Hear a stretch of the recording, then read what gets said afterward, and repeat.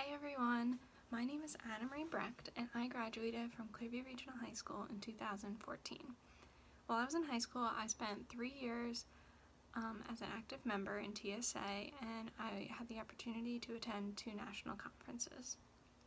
After high school, I studied architecture at Jefferson University and I graduated with a five-year Bachelor's of Architecture degree in 2019. So since graduating, I have worked at a firm in Philadelphia called Ballinger. Ballinger is a pretty large firm that not only consists of architects but also engineers. So it's really exciting because every day I'm collaborating with people with different backgrounds um, and different sets of skills and I'm constantly learning something new and having the opportunity to share my unique set of skills. So it's a really fun dynamic that I really enjoy. And so relating it back to TSA, it's actually funny to reflect back on my TSA experience, not only as a student competitor, but also as someone that held a leadership role.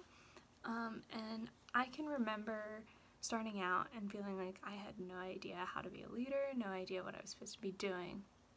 But as myself and the other TSA officers got to know each other, we realized that none of us had done this before and none of us really knew what we were doing. But in acknowledging that, we were able to move past it, look up to our mentors, work together, and accomplish what we had to do. So I tell you that story because I can honestly say I've experienced that same wave of uncertainty, exploration, having to work on a team, and finally accomplishing something over and over and over again, especially throughout college and even still in my professional life. So I would encourage all of you to really get to know your TSA peers, TSA mentors, because everyone in TSA is creative and passionate in their own ways and they can teach you things that you would never learn on your own.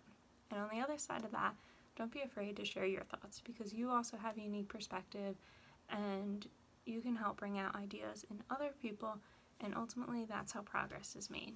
So while TSA probably looks different this year than when I participated in it, I hope you still embrace every opportunity to learn something new and know that in doing so, your experiences will definitely help you as move forward um, with whatever you choose to do. So have fun this year and good luck.